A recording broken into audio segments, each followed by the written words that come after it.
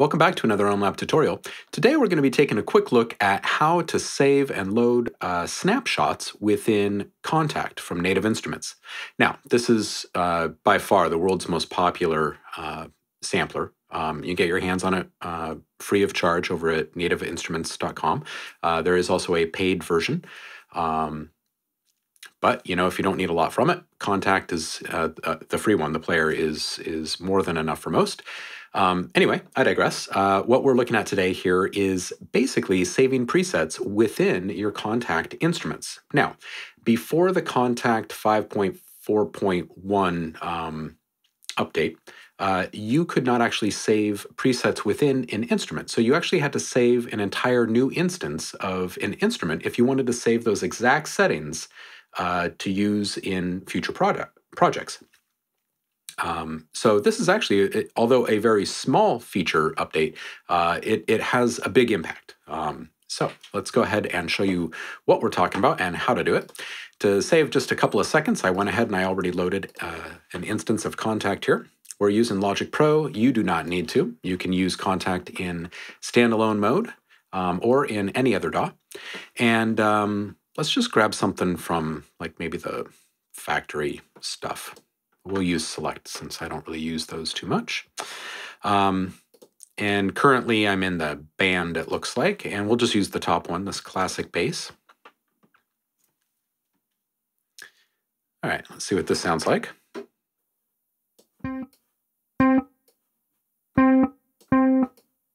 Okay, so now we have our settings all dialed in. It's absolutely perfect the way that we like it. Uh, now we're just going to come up here and this little uh, camera icon highlights when you hover over it. Go ahead and click on it one time and it'll uh, change the load screen here. And uh, you'll notice that it says no snapshot loaded. So go ahead and uh, click on the disk right here and that is intended to stand for save. And we'll just go ahead and click that and just enter in a name and we'll just call this test one and we'll save it. Now let's go ahead and continue on and make another one. So we'll play a note.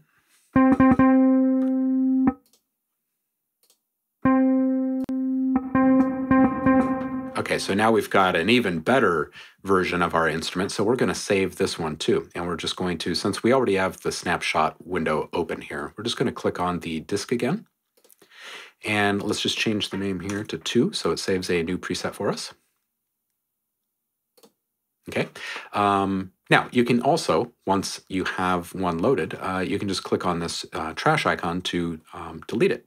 Now, you'll notice that there is this disclosure triangle here, um, kind of insinuating uh, that there are probably other options here. Now, if we click on this, you will see indeed that both of the presets that we've saved are here, or snapshots rather. Um, and just to show you that that is uh, a real thing, I've also loaded another instance of Kontakt here. So let's go ahead and navigate to that uh, um, same exact instrument. So load it up fresh and we'll just say we'll jump right to the snapshots. Click on the camera, no snapshots loaded. Click here on the drop down menu button and there they are, test one and two. So you load up the first one, just as good. And we'll load up the next two perfect sounds, exactly how we made them, recalled in an instant. Now, uh, there there's a reason why you would want to do this rather than save a new instrument every time, and that is that this is basically just saving your parameter settings. So the file size is incredibly small, and as you saw, uh, it's incredibly quick to load. Now, anyone that's used Kontakt for a while knows that if you have a big instrument, um, it can take quite a while to load, and it can take up a lot of CPU. So anything you could do to slim down um, load times and CPU usage, that type of thing, um, it's a win for everyone. So uh, now these, as I understand it, these are actually tied to the instrument that created them. So we're calling them snapshots rather than presets because um, if it's dependent upon the system and the instrument uh, that created it, you can't necessarily go sharing it with other people. Um, now, I believe if you have um, your same instance of Kontakt loaded on a couple different machines of yours, um, that you can do that, but you're going to have to make sure that you move the, the document data files with it. So um, for those that need that type of support, you'll understand what I'm talking about. For those, just ignore that. It probably sounded kind of complicated, uh, but this is a very quick and easy way to just save settings so you can use them uh, again in the future. And remember that this goes pretty deep. This goes for all of the, the parameters that you can touch. Um, so uh, drum kits. Okay, here's one. You spend a whole bunch of time dialing in all of your routing and outputs and everything. Why do that every time? Why not just save a snapshot and then the next time uh, you need to load up a kit, you just open up your snapshot. If you need to tweak it a little bit, at least you're saving yourself all of the headache of recreating all of that stuff from scratch. So that's it, how to create a quick snapshot inside of Kontakt.